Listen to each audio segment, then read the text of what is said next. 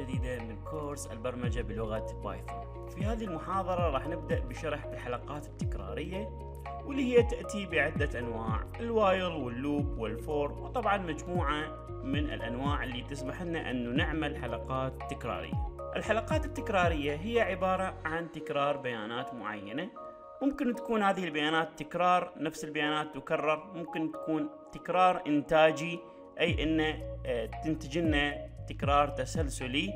مثلا الأرقام واحد اثنين ثلاثة أربعة أو المصفوفات تبدأ لنا بأول آه، جزء وتنتهي بالتكرار إلى أن تصل إلى الجزء الأخير. وهكذا وإن شاء الله راح نأخذ أكثر من مثال حتى نبين بالعملية التكرارية. مثلا راح نأخذ مثال هذا المثال اللي هو هذا الشكل. هذا المثال راح نشرحه بالتفصيل الممل وراح نتعرف على نتيجته. وطبعا مهم جدا هذا المثال لأن راح نحتاجه لاحقا بقواعد البيانات. عندنا متغير. هذا المتغير اسمه x قيمته صفر. طيب عندنا عملية التكرار while هذا هو الكود الخاص بالوايل. تكتب كلمة while فراغ تكتب اسم المتغير اللي بأعلى ال while أو اسم المتغير اللي راح يكون عليه عملية التكرار. طبعا إحنا اختارينا اسم المتغير اللي هو x. طيب عندنا هنا علامة الأصغر والأكبر وعندنا هنا رقم. هنا هذا هو بشكل عام هذا الجزء اللي هو ما بين كلمة while والنقطتين هو شرط التوقف. شرط التوقف يعني شنو؟ يعني معناه الأداة أو الدالة. while راح تبدأ بعملية التكرار وتتوقف عندما تصل لهذا الشرط. بدون هذا الشرط لا تتوقف الدالة. طيب فكرة هذا المثال هو أنه راح يزيد لنا التسلسل. يبدأ من صفر وواحد اثنين ثلاثة أربعة. وطبعا بدون هذا الشرط راح يبدي التسلسل من الصفر وينتهي إلى ما لا نهاية وبالتالي البرنامج راح يعلق ويتوقف لأن الأعداد غير منتهية جدا. طيب حتى نوقف الدالة لابد أنه نوقف الدالة. حتى لا تبقى تكرر إلى ما لا نهاية لابد أنه نضع شرط التكرار. وشرط التكرار هذا هو عندما الأكس يصل إلى عشرة.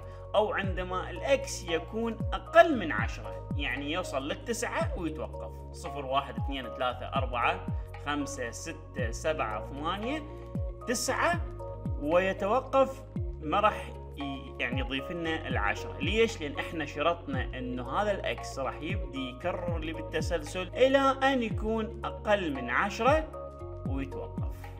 طيب بعد ما كتبنا الدالة while وكتبنا شرط التوقف راح نجي نطبع الإكس. هذا هو الإكس. عندما نطبع الإكس الإكس هو قيمته صفر. عندما انطبعه راح يكون هو صفر. طيب إذا إحنا نريده يتكرر بزيادة يعني يتكرر واحد اثنين ثلاثة أربعة خمسة راح نكتب نفس المتغير هو الإكس. نفسه راح نعيده. هذا المتغير. ولكن قبل المساواة راح نضيف زائد واحد. شنو يعني؟ يعني معناه إنه هذا الإكس هو نفس الصفر زائد واحد راح يكون واحد. الواحد زائد واحد راح يكون اثنين. وهكذا يبدي يزيد ويتزايد إلى أن يكون أقل من عشرة. يوصل للعشرة ويتوقف حتى تنتهي عملية التكرار. طيب. هذه الخوارزمية تقريبا تقريبا ثابتة تنحفظ مع تغير المتغير. يعني هنا الإكس ممكن يكون غير متغير عملية البداية أو الانطلاق ممكن تكون اثنين شرط التوقف ممكن يتغير البرنت تبقى ثابتة وهنا طبعا عندنا المتغير هذا يتغير مع اسم المتغير هنا وعندنا طبعا المساواة زائد ناقص. أو آه، الخطوات هذه. طيب الآن راح نجري عملية المعاينة. إذا لاحظ هذا الكود راح يقرأ لنا الأرقام من واحد إلى آه، تسعة ويتوقف.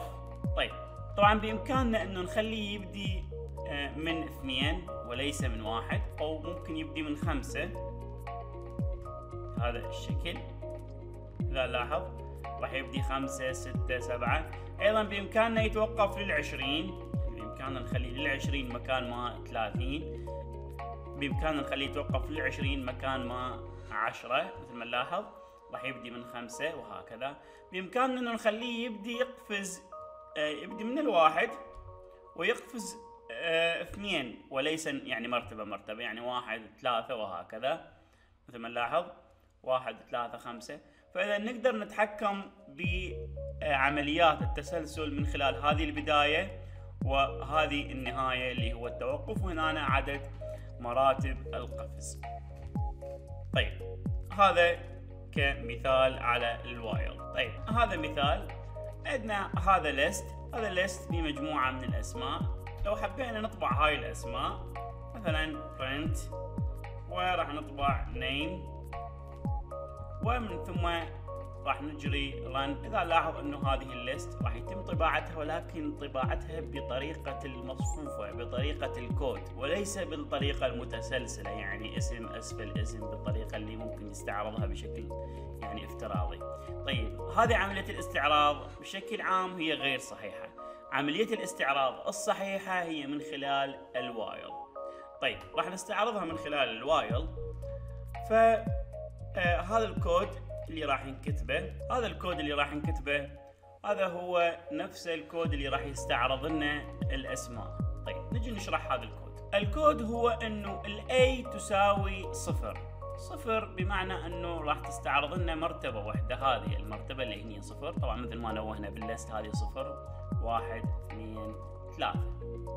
طيب أو يعني أربع قطع. هذه عبارة عن قطعة قطعتين ثلاثة. أربع قطع عددهن. طبعا هذا الكود راح ناخذ من عنده control x وعندنا دالة اللي هي اسمها len. print len. عندنا دالة اللي هي len. نفتح قوس وبداخل اللين راح نكتب اللي هو النيم ورن إذا نلاحظ إنه هنا عندنا أربعة راح تعرض لنا هذه النيم هي أربع قطع. بهذا الشكل إنه هذه لحد الأربعة وتتوقف. طيب فاذا هذه هي أربعة. آه هذه اللين راح تعرض لنا عدد القطع الموجودة. طبعا أربع قطع مثل ما نلاحظ هنا. طيب الآن هذا الكود. ال i تساوي صفر. while i أصغر من الرقم اللي هو عدد القطع. واحد اثنين ثلاثة أربعة. يعني بإمكاننا أنه نخلي هنا أربعة. نكتب أربعة بهذا الشكل print name يعني اعرض لنا اطبع لنا هذه بعدد القطع القطعة اللي هي صفر يعني اعرض لنا القطعة رقم صفر اللي هي i يعني الفكرة هنا شنو؟